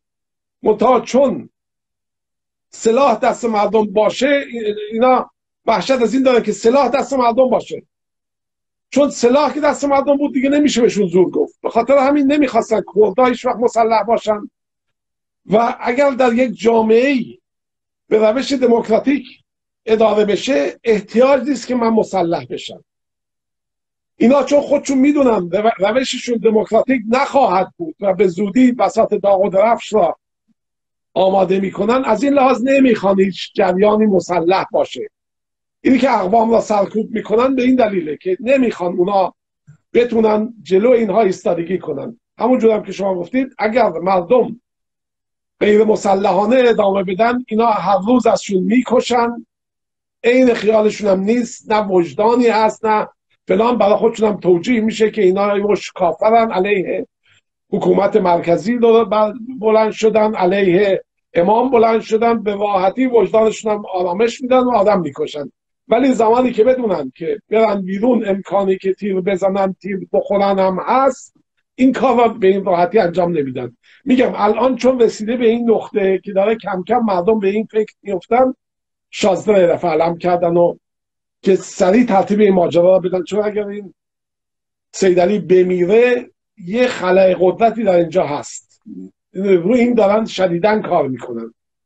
و این همه این وسایل ارتباط جمعی که در اختیارشون هست یک دفعه شازده را تبدیل کردن از هیچ البته هیچ هست هنوزم به یک بوتی که کم مونده که همون استقبالی که از خمینی شد در شازده هم تغییر ببینن و اینا باید ایرانش کنن.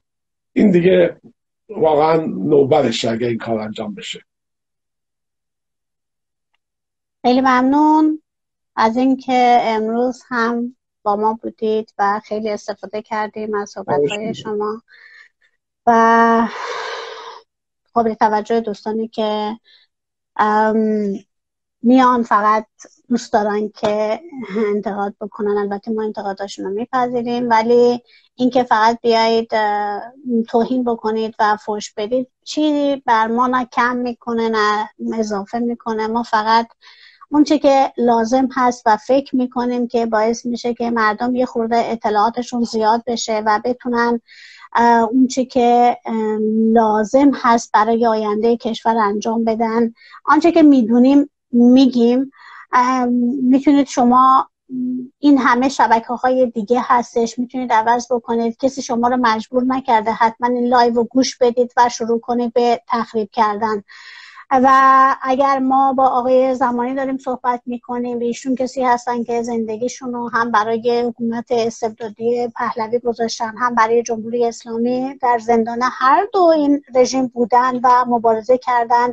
و در حال حاضر هم هیچ چیزی برای خودشون نمی‌خوان و دوست داشتیم که اتفاقا آقای پهلوی هم انقدر شهامت و جنم داشتن که میمدن می‌گفتن که من شاه نیستم حتی اگر آخون بره من ایران بر نمیگردم. نه برای نه اینکه بر نمیگردم بر میگردم زندگی می‌کنم ولی به عنوان یک انسان عادی میرم زندگی می‌کنم. به قول خودش دنبال اون دفعه گفته قرمه سبزی و کوفته تبریزی و این چیزا میره جاده چالوس می‌خوره. همه اینا قابل احترام هستن. به شرطی که ایشون بیاد خیلی واضح و مشخص حوزه خودش رو مشخص بکنه و بگه که من هیچ ربطی به ژن پدر و پدر بزرگم ندارم. من یک انسان عادی هستم. و اگر شما ناراحت میشید از اینکه آقای زمانی یا من در مورد پهلوی صحبت می‌کنیم در مورد زمان حال ایران صحبت می‌کنیم یا برای آینده آلترناتیو میدیم. ما آلترناتیو نمیدیم. ما فقط پیشنهاد میدیم که طبق چیزی که آقای زمانی گفتن حکومت فدرال به خاطر وجود قومیت ها در ایران بهترین گزینه می‌تونه باشه. برای اینکه اینطوری ثروت هر منطقی هر جایی که مشخص می‌کنه برای خودشون میمونه و لازم نیست که یکی توی تهران بشنه تصمیم بگیره که توی بلوچستان یا همون اتفاقی که همین چند سال سالها پیش که در حال حاضر هم حتما میفته ولی کسی مثل احمدی نژاد و از گرمسار بردارن ببرن بذارن توی اردبیل که ایشون اونجا برای خودشون دار و دسته جمع بکنن و هجوم بیارن توی تهران که سهمی از حکومت مرکزی هم داشته باشن. این همه اینا باعث میشه که به قول آقای زمانی یا کسی که داره اونجا حکومت می‌کنه یا اداره می‌کنه دلش برای مردم اونجا نسوزه. یک تهرانی که در رفاه داره زندگی می‌کنه هیچ وقت از زندگی واقعی کسی که در بلوچستان هست کسی که در بندر عباس هست اطلاعی نداره. فقط وقتی اونا میان بیرون جالب اینجاست که تازگی ها انقدر این اختلاف ها بین مردم زیاد شده که وقتی اهوازی میاد بیرون دیگه تهرانی بیرون هم نمیاد. چون اصلا بهش ربطی نداره. میگه به من چه ربط داره؟ اونا چیزی که رایج شده اونا جدای طلبن عربن می‌خوان جدا بشن پس اونا به من ربطی ندارن. ترک میاد بیرون بعد نه تنها نمیاد کسی حمایت نمی‌کنه مسخره می‌کنه. کرد میاد بیرون میگن بابا کرده از اولش هم همین بودن کردا می‌خوان برن سمت عراق کردا می‌خوان برن سمت ترکیه برای همه به ما ربطی نداره. همه اینا باعث میشه که ما نسبت به هم اون دوستی نداشته باشیم اون دلسوزی رو نسبت به هم نداشته باشیم و از این شرایط قارشمش هم خیلی راحت حکومت مرکزی استفاده می‌کنه ما رو به جون هم میندازه کسی برای کسی دلش نمیسوزه آلترناتیو واسه همون میتراشن و این میشه که اوضاع الان هستش. تا یکی هم میاد حرف می‌کنه حرف بزنه شروع می‌کنن به فش دادن و اینکه تو چی کاره ای؟ تو مگه فلانی اگه داری خودت معرفی کن ما قرار نیست کسی را معرفی بکنیم. ما قرار نیست آلترناتیو معرفی بکنیم. ما فقط میگیم این نوع حکومت می‌تونه بهتر باشه. ما میگیم تجربه نشون داده که مبارزه مسلحانه در قبال جنایت و ستم در مقابل دیکتاتور مستبد جواب میده. ما فقط میگیم اینا را که شاید گوشی باشه برای شنیدن. شاید کسی باشه که یه ذره فکر بکنه و بگه که آقا ما بیست و چند ساله که به صورت علنی شروع کردیم مبارزه را. در کف خیابون هستیم مبارزه مدنی جواب نداده. کسی وقتی میشینیم توی پشت مدیاها همش دارن تحریف تاریخ همش تحریف تاریخ همش, همش دروغ همش دروغ که چه گل بلبلی بود دوره پهلوی که یه مشت از سر سیری بلند شدن انقلاب کردن. نه اینطوری نیست. اگه کسی میاد اینجا از وضعیت اون موقع داره میگه خودش زندگی کرده اون موقع را تمام اون روزا رو گذرونده. اگه داره الان حرف می‌زنه هیچ دشمنی با کسی مثل پهلوی نداره. هیچ اصلا دلیلی نداره دشمنی داشته باشه کسی با پهلوی. فقط داره واقعیت ها رو میگه که شاید گوشی برای شنیدن باشه. اگه کلام آخر دارید آقای زمانی بفرمایید که من در تو این مسئله سلطنت طلبا شما فرمودید. ببینید یک واقعیتی است. نمیشه این را کتمان کرد. خاندان پهلوی یک سری افراد بی پرنسیب و بی اصالتی بودند که به وسیله انگلیس ها به قدرت رسیدند شما فقط یک قلم کار اینا رو در نظر بگیرید. همون موضوع فوت تاج الملوکه. مادر شاه زن رضا شاه مادر بزرگ شازده در نیویورک فوت می‌کنه در بیمارستان. نمیرن دنبال جسدش. چون میبایست خرج بیمارستان رو بدن. بعد از اون ورش فرح اون زمان در پاریس بوده. می‌بینه اوضاع آبرو حفظ بکنه. ده هزار دلار پول میفرسته برای غلام رضا که اینا ببر خرج کفن و دفن تاج الملوک کنید اونم پول میریزه جیبش میره دنبال زندگیش. ببین خانواده ای که انقدر بی کلاس باشه که حاضر باشه مرده مادر بزرگش را نره از بیمارستان بیاره این می‌تونه به فکر مردم باشه. مرده رو انقدر اونجا موند که آخر شهرداری تحویل گرفت مرده را در قسمت بی خانمان ها اینا به خاک سپردن حالا شما برو تو گوگل بزن که آقا قبر شعبان جعفری پیدا میشه. یه سنگم برای قبر هایده قبر تاج الملوک پیدا نمیشه. چرا؟ چون تو نیویورک در قسمت بی خانمان ها بدون سنگ و بدون چی میریخ ریختن همه. به قول معروف مثل هویج چالش کردن. بعد تو اونجاش هم نوشته فوت نمی‌دونم چیشه مکزیک. اصلا چرا رفته تو مکزیک فوت کنه؟ خانواده که انقدر بی کلاسن این ما بیایم پرستش کنیم در حد این که اینها به حساب بخوان پادشاه ما باشن. اینها ما را نجات بدن. اینها ما را بخوان به راهنمایی کنن به زندگی بهتر. آخه کدوم آدم عاقلی؟ کسی که دلش برای مادر بزرگش نسوخته برای من میسوزه. برای شما دلش میسوزه. برادران سلطنت خیلی سلطنت طلب خیلی علاقه من به این خانواده هستن. تشریف نیویورک. یک قبر و گنبد بارگاهی برای این پیرزن درست کنن که اینقدر مورد تنه واقع نشه. هر کسی که می‌بینی میگه آقا قبر این کجاست؟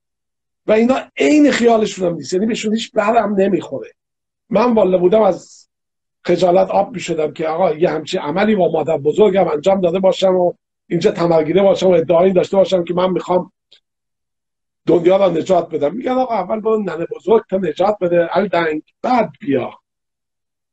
بخواه رهبر دنیا بشون اینی که نمی‌خواد شما به ما انتقاد کنید.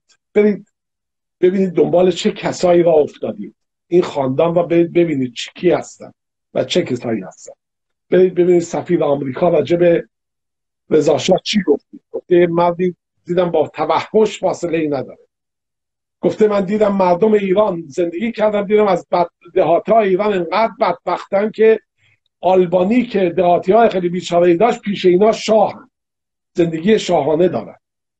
برو ببین نظرات سرتون مثل کپک لای بعد نکنید تو پت پلا بگید زمان شاه اینجوری بود زمان خویدا گفت خود کار بی که من پنج سال بود. همونم برید پیدا کنید. اگر شما یک مدرکی آوردید که هویدا در داد اینا همه ثبت شده دادگاش میگه گفت من خودکار بیک پنج تومن خرید پنج زار بود الان پنج زار هر چی شما میگید درست.